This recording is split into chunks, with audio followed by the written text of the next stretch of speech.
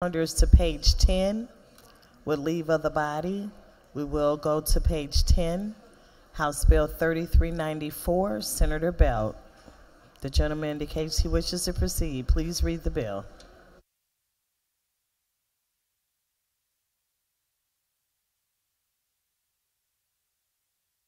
House Bill 3394, an act concerning business. Third reading of the bill.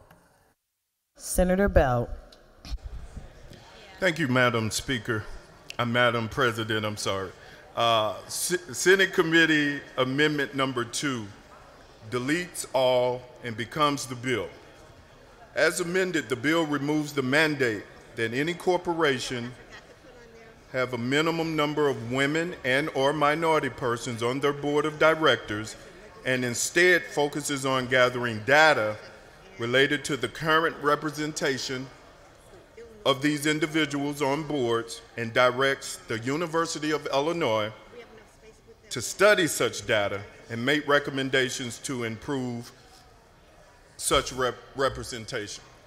Madam President, what the bill uh, essentially does is it's requesting that all publicly traded boards in Illinois report their uh, composition of their uh, boards of directors to the Secretary of the State. The Secretary of State would then forward that information on to the University of Illinois.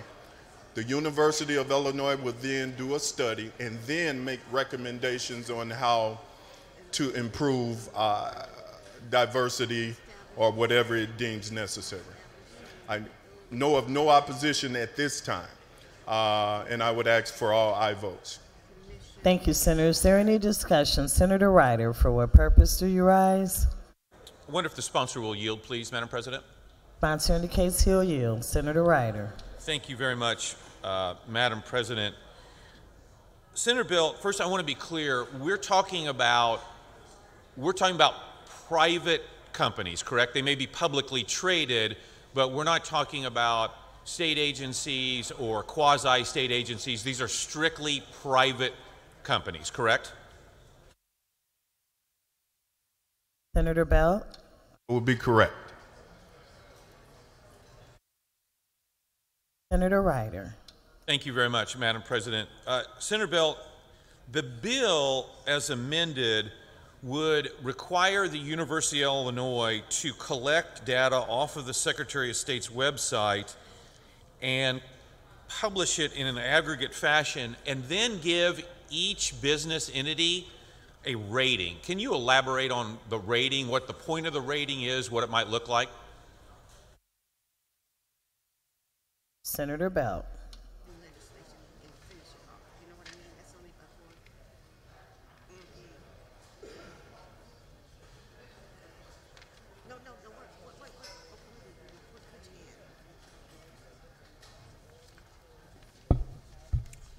Senator, the bill instructs the university to uh, devise a rating program. It's vague and it leaves it up to the university to decide how to do so.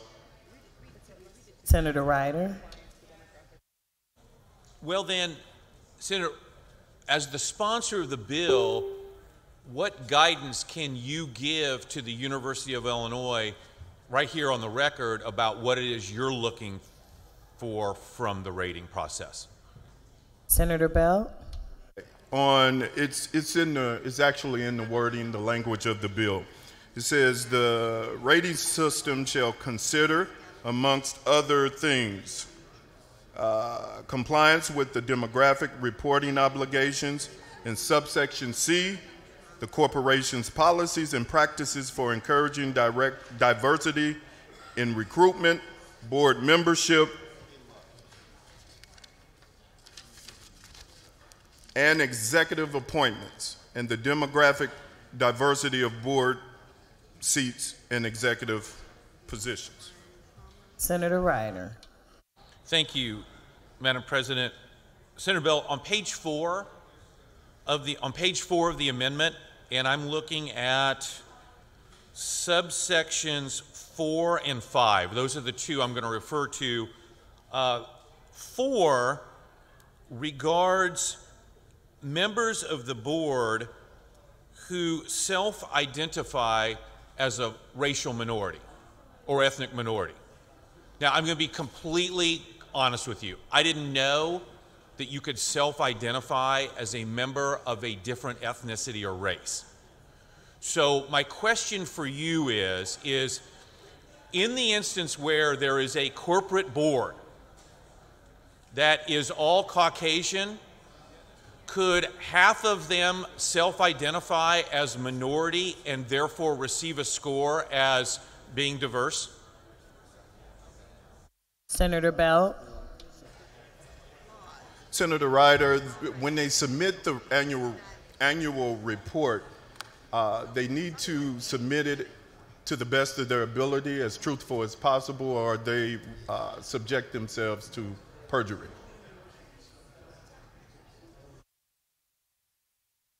Senator Righter. Okay, I'm, let me try that again. So, so this becomes law,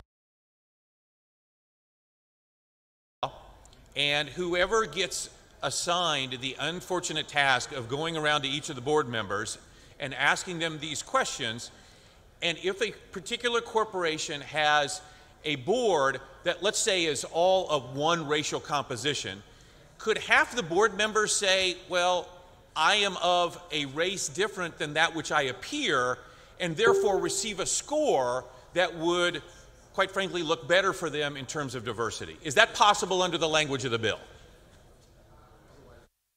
Senator Belt.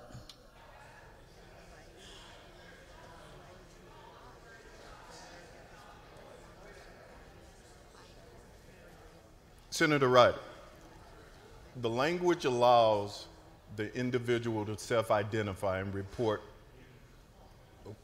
to the best of their ability, as truthful as possible, what ethnicity they, or, or race that they are. If they intentionally be misleading in their, in their response, then they are subject to perjury for doing so. Senator Righter. Is there a form or an affidavit involved in this process, Senator, that requires each individual board member to attest to their answers under oath? Because that's the only way you get to a perjury charge. Holy crap. Senator Belt. So,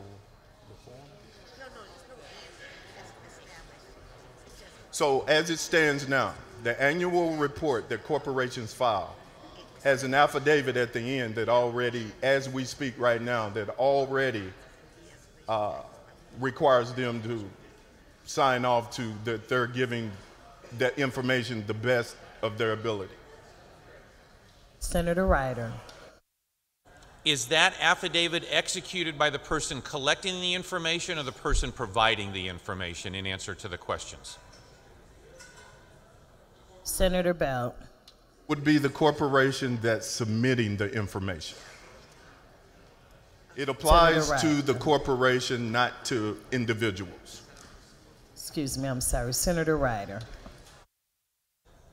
Thank you, Madam President. In the next subsection, uh, it refers to generally the same issue, except it has to do with self identification of gender. Now, we don't need to walk through the whole conversation we just had about that. I'm assuming my questions would be the same and your answers would be the same.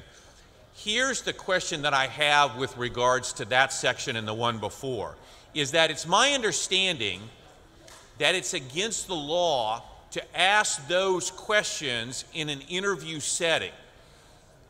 Is there any legal concern that the person who gets the wins the loses the bet to ask these questions has in asking a board member these questions? In other words, I can't in, in an interview. Thank you, Madam President. In, in an interview for employment, I wouldn't be asked to, allowed to ask someone the questions that have to be asked on this.